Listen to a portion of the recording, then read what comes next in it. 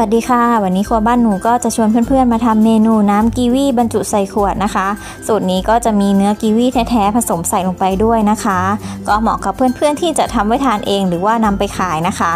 ค่ะ เดี๋ยวเราไปดูส่วนประกอบแล้วก็วิธีทำกันเลยค่ะ อย่าลืมกดติดตามและกดกระดิ่งเพื่อรับชมเมนูใหม่ๆ และเป็นกำลังใจให้กันด้วยนะคะ ค่ะวัตถุดิบอันดับแรกที่เราจะต้องมีนะคะ ก็คือเนื้อกีวีแช่แข็งนะคะ อันนี้ก็ใช้เป็นของตาแอโร่นะคะ น้ำหนัก 1,000 กรัมค่ะ ก็จะตกอยู่ที่ราคา 79 บาทนะคะ เพื่อนๆสามารถหาซื้อได้ที่แผนกแช่แข็งของห้างแมคโครนะคะ ค่ะเนื้อของเขาก็จะเป็นชิ้นใหญ่ ๆ แบบนี้นะคะ เดี๋ยวจากนี้เราก็จะเตรียมเอามาหั่นเป็นชิ้นเล็กๆนะคะ เราจะได้กรอกใส่ขวดได้นะคะ เราก็จะหั่นทั้งๆทที่เนื้อกีวีของเรายังแข็งอยู่นะคะ จะได้หั่นได้ง่าย ๆค่ะ ก็ซอยเป็นชิ้นเล็กๆนะคะ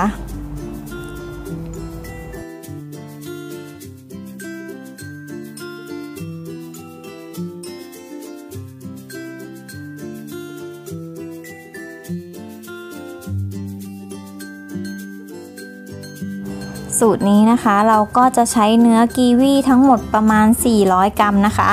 ค่ะ เดี๋ยวเราก็จะหั่นให้เสร็จนะคะ เดี๋ยวเพื่อนๆ ไปดูขั้นตอนต่อไปกันเลยค่ะ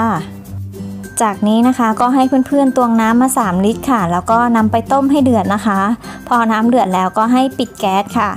เสร็จแล้วก็ใส่ตัวน้ำกีวีเข้มข้นนะคะ ลงไปทั้งหมด 400 กรัมค่ะ วันนี้ก็เลือกใช้ของยี่ห้อติ่งฟงนะคะ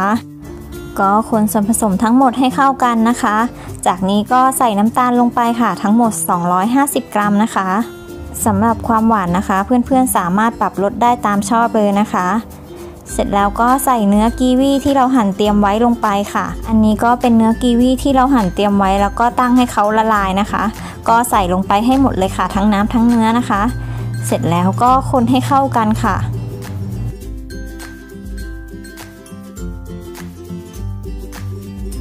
ค่ะ และเมื่อน้ำตาลของเราละลายดีแล้วนะคะ เราก็จะต้มอีกครั้งด้วยไฟกลางค่อนไปทางแรงนะคะ ให้น้ำกีวีของเราเดือดอีกครั้งหนึ่งค่ะ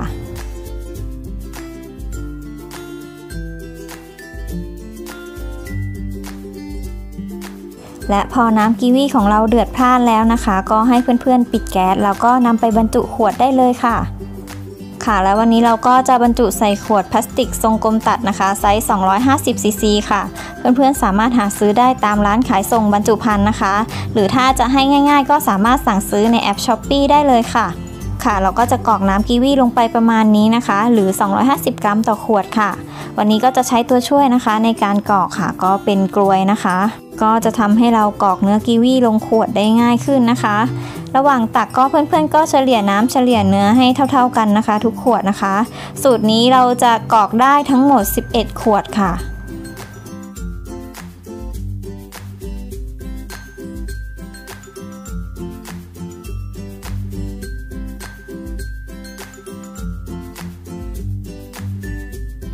ค่ะเสร็จแล้วเราก็มาปิดฝากันเลยนะคะ ก็เอาฝานะคะลงไปสวมนะคะที่ปากขวดค่ะ แล้วก็กดลงไปนะคะเขาก็จะดังกึกนะคะ แล้วก็หมุนอีกทีค่ะให้แน่นค่ะ แค่นี้ก็เป็นอันใช้ได้เรียบร้อยแล้วนะคะ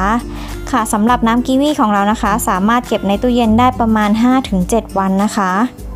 ค่ะและท้ายตรงนี้นะคะก็เป็นตัวอย่างของวัตถุดิบที่ครัวบ้านหนูได้เลือกใช้นะคะ ส่วนตรงนี้นะคะก็เป็นการคำนวณต้นทุนแบบคร่าวๆ ไม่รวมค่าแรงค่าแก๊สนะคะ ต้นทุนของน้ำกีวี1ขวดก็จะตกอยู่ที่ 8 บาท 66 สตางค์ค่ะ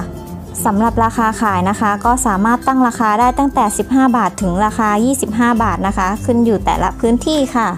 ค่ะ ก็หวังว่าคลิปนี้จะพอเป็นประโยชน์กับเพื่อนๆนะคะ ถ้าชอบก็อย่าลืมกดไลค์กดแชร์ กดติดตามครัวบ้านหนูไว้ด้วยนะคะ ไว้เจอกันใหม่เมนูหน้าค่ะ สวัสดีค่ะ